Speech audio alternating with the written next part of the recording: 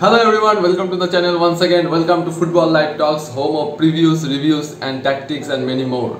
So today in this video we will discuss all the transfer rumors of Barcelona. So Barcelona's summer transfer window is legit. It's looking very much uh, you, just, you can say a, a way it is not looking good but in a way if we act smartly it is looking very good so let's discuss all the transfer rumors, what Barcelona can sign and which will be the proper players. If you sign them, they will be beneficial in the uh, next season. So let's check. So the first top priority given to the means the transfer to which top priority is given and it is the top leading transfer news is of Robert Lewandowski. So this news was confirmed by uh, Fabrizio our the legend of transfers news and he said that yeah, Lewandowski already had two direct contacts with Xavi and the Barcelona board is wanting him to join this season and uh, he himself wants to join Barcelona. So both the parties are looking very much optimistic and they want to continue together in the next season. And now Lewandowski is facing something uh, like the German media and even the German fans they are uh, like now they are saying Lewandowski is overrated Lewandowski is like you know what happens when he will leave the club like these things will come out. And so that is the thing but you know Lewandowski's transfer will be very good I think so. Uh, two years or three years he will serve us but that's good uh, to bring us bring ourselves in the European position European quality you know European football quality which we have lacked this year. Uh, we can come back to that. And Lewandowski has proved himself that he can play in a top level. Uh, already he almost won it in the 2020 Ballon d'Or uh, and 2021 also he was very close to win that. So he's a top class player. And see we could not uh, buy Haaland, Haaland already went to Man City. And uh, probably Mbappe is going to Real Madrid. And see these are the top notch transfers which Barcelona cannot uh, buy because as Joan Laporta mentioned we cannot risk our like our our like Barcelona we're gonna risk Barcelona uh, with these transfers because uh, the financial issue is so much strict in uh, La Liga. So so yeah Lewandowski's uh, transfer is looking here we go almost and it can happen any day any time. So yeah this will be a good transfer and Lewandowski will maybe he will be substituted or it means he will uh, switch positions with Aubameyang, like Aubameyang can play in the second half and Lewandowski maybe he will start and Xavi himself said that Lewandowski is so much needed in this team. So yeah, so we are having now Lewandowski almost it's done. Let's see in the final stages maybe it, it, it will not happen but yeah we will always stay positive and we are going for this transfer. So forward position is done. We have already discussed the forward position. Now let's discuss about midfield. Midfield is looking so much critical yeah midfield is so much critical obviously Franck Kessie is almost done. Franck Kessie is done you can say. On a, it's, a free transfer to Barcelona uh, from AC Milan. Franck Kessie is done. And Frenkie de Jong has already have made a video uh, on that. Barcelona may uh, like may or may not uh, sell uh, Frenkie de Jong uh, because they are wanting some money because uh, financial issue of Barcelona is not good now. Uh, after the winter transfer window, we are facing some financial issues. Already the 50 million, 50 to 55 million euros of Ferran Torres is not paid, and we are just facing some issues. And maybe Barcelona will sell uh, Frenkie De Jong, and so we are we have already signed Franck Kessie, who is a potential replacement for Sergio Busquets, but I don't know. Uh, it may he may uh, like replace Busquets because Busquets, Busquets we cannot replace him. He is a top class player and we know how he has uh, proved himself. And without Busquets we always suffer. We have seen that. And our transfer was linked with Carlos Soler of Valencia. And that transfer also is looking that it might happen because Valencia are also pushing uh, on the transfer and Barcelona are also willing to sign him. But let's see what happens in the final stages. Maybe Carlos Soler is a good player a goal scoring midfielder and he might be a good signing for Barcelona. And now see, Paul Pogba will leave Manchester United. This is the uh, third midfield uh, rumor. Paul Pogba will leave uh, this uh, summer, uh, like in this summer transfer window uh, from Manchester, Manchester United, and he was linked with Manchester City as well. He was um, now he was linked with PSG as well. now the the club which is wanting him is Juventus and there I think he is the like it is very much assured that he might join Juventus. He might go to go back to Juventus where he played uh, like I can say the prime moments of his career. And Paul Pogba I think this transfer will a kind of be a flop in Barcelona because Paul Pogba is not kind of player who is fit to play in Barcelona. He is very good in those uh, you know Serie uh, Premier League. Already Premier League he has suffered this season. He has not played so great but in Serie A he was so dominating with Juventus so he should go there I, I must say. And uh, uh, like if PSG want a good midfielder yeah you can go for Paul Pogba. PSG can go for Paul Pogba. It will be a good signing for them as well. So Paul Pogba I don't think this uh, this transfer should happen for Barcelona but let's see what happens. Paul Pogba yeah he's not linked with Barcelona but he's available in the market. So Barcelona should uh, try or may not try. I, I, I will say you should not try for Paul Pogba. Then coming to the fourth transfer rumor is of Ruben Neves of Wolves. And see, we are Barcelona always having a good relationship with Wolves. We have done a lot of transfer with Wolves. Uh, uh, Nelson Semedo, then uh, Trincao, we brought out Adama Traore. So we are having a good relationship with them. But I don't know, Ruben Neves is a very key player for Wolves. And I don't think um, uh, Wolves will uh, uh, like just let away their midfielder go. So yeah this transfer is also looking complicated. This will not happen uh, for me and yeah this is looking complicated and yeah Ruben Neves is a very good player good with the volleys good with the shots first time shot. Defensively also is very good but I don't think this transfer will happen. And let's jump to the next transfer rumor that is a Bernardo Silva. See, Bernardo Silva is such a great creative playmaker. He can play a false nine, he can play in the midfield role, wing also he can play. So a very great player and a rumor came a long back like they were discussing about a switch of Frenkie de Jong with uh, Bernardo Silva with some uh, money because Frenkie de Jong is always uh, obviously cost more. And but yeah Barcelona are not willing to give away Frenkie de Jong for Bernardo Silva who will take some time to adapt at, at this situation. Yeah Bernardo Silva is a kind of player who can play in this kind of situation but yeah that is not uh, good because suddenly you're coming from uh, a Premier League uh, play where too much attack is there and you're coming to a La Liga where too, too much position is maintained. And yeah that will be some already obviously he's coming from Pep Guardiola's team. That will be a kind of advantage. And we are also having a good relationship with Man City. So yeah, Man City, the players who are coming to Barcelona, they are playing well. Like we have seen Ferran Torres, he are kind of playing well only, and Eric Garcia also already he is playing good, not that bad. Uh, we cannot say he's playing that level best, but okay, he is managing everything with Barcelona.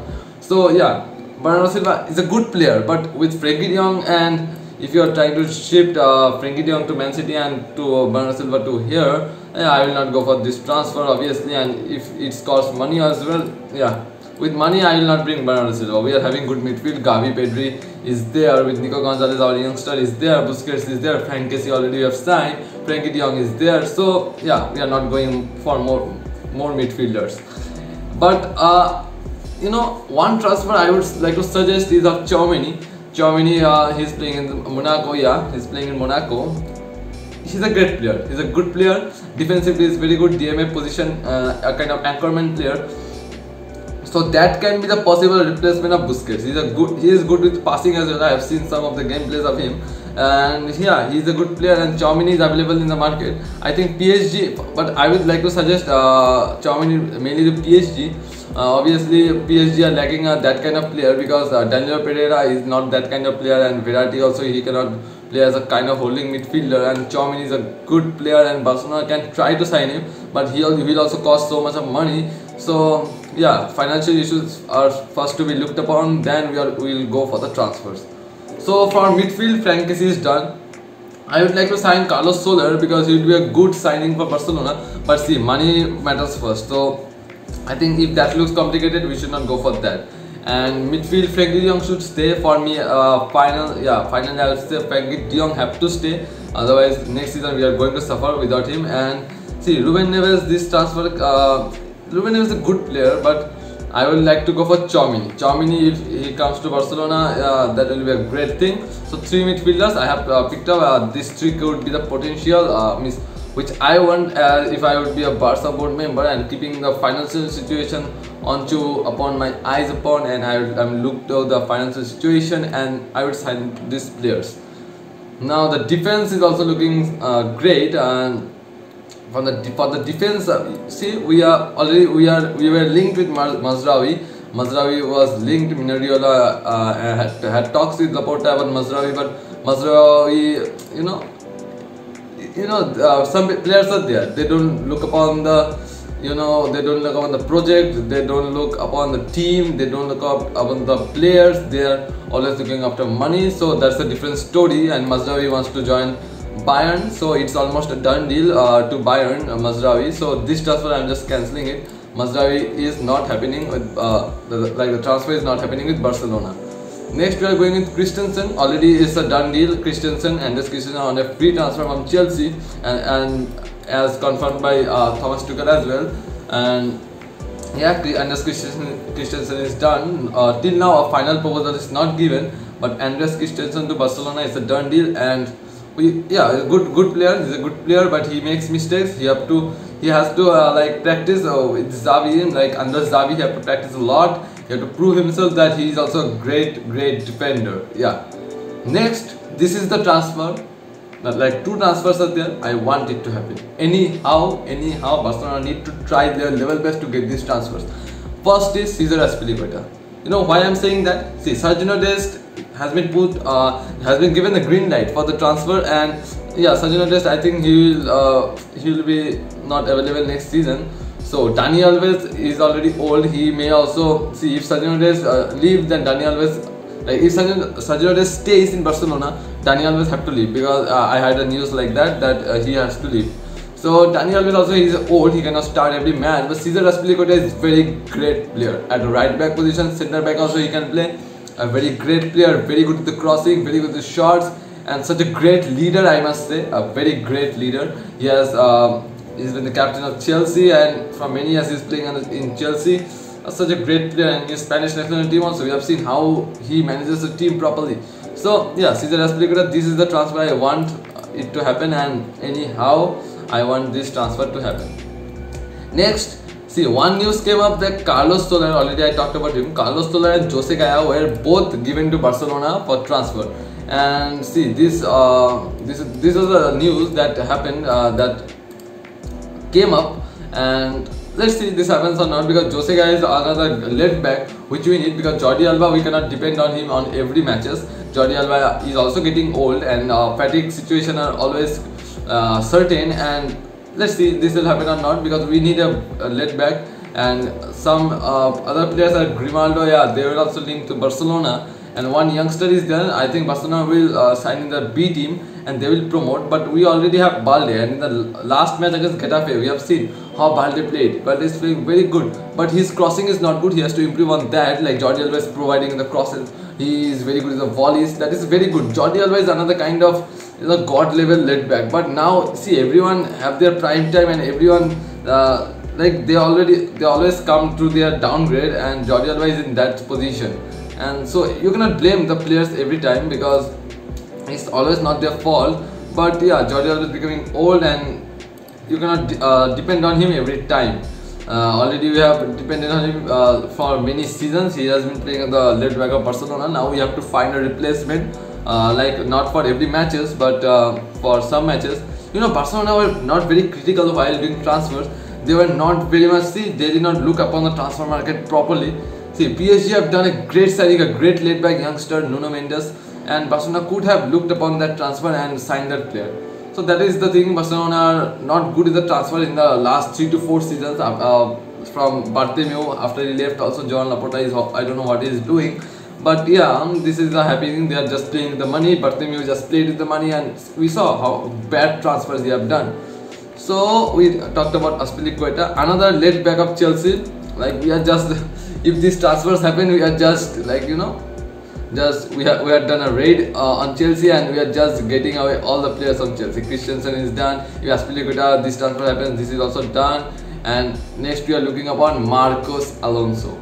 So there was a there was a news that uh, uh, Marcos Alonso had uh, some exchange of words, some like exchange of words. He had almost like a fight with uh, Tuchel, and in the dressing room also he's not behaving properly with the coach, and the coach also is uh, is like he is not liking the uh, behaviors of uh, Marcos Alonso. So Marcos Alonso, and he's a Spanish player, everyone knows, and he also wants to come back to Spain, and he wants to play under Barcelona. He is also wanting to play under Barcelona, so this deal could also be a good replacement for Jordi Alba, like Jordi Alba and Marcos Alonso. So this is another deal which we can do. So guys, we have talked about left back, right back. Now coming to the centre back position. Centre back position, uh, Koulibaly is being linked with Barcelona. Koulibaly of Napoli. He's a great defender, great, great player. And see, this transfer is also looking complicated because 30 million, is almost 30 million, and it's not possible. You know, every transfer. Uh, see, rumors are always to come. Okay, but the transfers which are very much possible, we have already talked about that. But yeah, Koulibaly uh, deal is lot looking uh, so much possible because we have Araujo signed a big contract and some other defenders are also there but we need a center back because center backs are lacking we have Piqué I think next season he will play then he will uh, retire and we have to look at the future of the club as well. Araujo is the future. Araujo is obviously the future. And Barcelona I think they will sell Oscar Mingueza Eric Garcia is the future. Eric Garcia is there but he is not performing at that level like Araujo. So we need a good good defender. And when we last time we are we were linked with Matthijs de Ligt but Matthijs de Ligt, obviously, this transfer will not happen. Uh, lots of money is required for that. And then we come to uh, let's talk about the present players like Memphis Depay. Uh, there was a talk that Memphis Depay will be swapped with Lewandowski uh, to Bayern, and let's see this deal happens or not because uh, Memphis Depay see he's he's feeling okay, but uh, Xavi also wants Frenkie, both Frenkie De Jong and Memphis Depay to stay at Barcelona for the next season. But let's see Memphis Depay will change the club or not. And he was all, all uh, once again he was linked with Tottenham as well but that did not happen. And Bayern I think maybe Lewy should stay. And you should not see you should not swap players. And Barcelona already they had made a mistake of swapping players with Arthur and Pjanic. And then we saw what happened. Pjanic uh, almost stayed in the bench the whole season. Then he went to Besiktas. And now he's on loan. And Barcelona should sell, sell that player. Just don't give it a loan. Sell that player. You'll get some money uh, some uh, 8 to 10 million. You can ask for that. And yeah, that, that that's the thing. And then Adama I think he will not uh, renew because Barcelona uh, they are not possible to buy out Adama Traore of 40 million almost needed uh, for Adama Traore. Almost 40 million, yeah, almost 40 million is required for Adama Traore, and that that is another uh, that should not happen. We should instead we should bring back Tin Trincao, Trincao, Alex Collado, the both left uh, left-legged uh, right wing so that will be very much beneficial and instead of that we can avoid the transfer of Raphinha also then well as well. We, let's talk about Raphinha and Ousmane Dembele's contract is uh, see they are almost negotiating and still no final stages in the they are in the final stages not in the final stages as well they have not come to an agreement and Ousmane Dembele is linked with Bayern, Ousmane Dembele is linked with Manchester United, Ousmane Dembele is linked with Newcastle, Ousmane Dembele is linked with PSG, PSG will, uh, will obviously go for Ousmane Dembele because he's a French player as well and uh, like a playmaker like Mbappe who uh, takes on the ball and he's good in shooting as well. So they will want a player and Ousmane Dembele is playing at a prime moment now and every club have their eye on Ousmane Dembele now so let's see what Barcelona will do with Ousmane Dembele. But if Ousmane Dembele's contract is not renewed, then I think Barcelona will go for uh, Raphinha. Barcelona can go for Raphinha, 25 million almost required. Uh, it's a very low cost because uh, before it was said that 70 million almost required the release clause was 70 million. But uh, the recent report said it's only less than uh, 25 million. Almost is 25 million so guys these are all the transfers all the rumors i have discussed. Maybe i have missed one or two but okay these are the rumors as obviously. And let's see what barcelona will uh, do the lineup next uh, season. And hope barcelona will have a good preseason. They will train well. They will have a good game plan. They will keep the hold of the league in the first stages of the season. And yeah next next next season champions league also we are we have to do a great uh, great great comeback to the champions league because we are in a recent run out, run out of form, we are playing the Europa League and Barcelona is not the team who plays in the Europa League. And yeah, Frankfurt won the Europa League, so big congr congratulations to Frankfurt. Obviously, uh, they defeated Barcelona. Now we can say the winner of Europa League defeated Barcelona, but Barcelona See, we have to do a comeback. We are an- another level team. We have seen the glory of Barcelona. We have to bring that again back. Viscal Barça, Viscal Catalonia. Love this club. Yeah, let's go.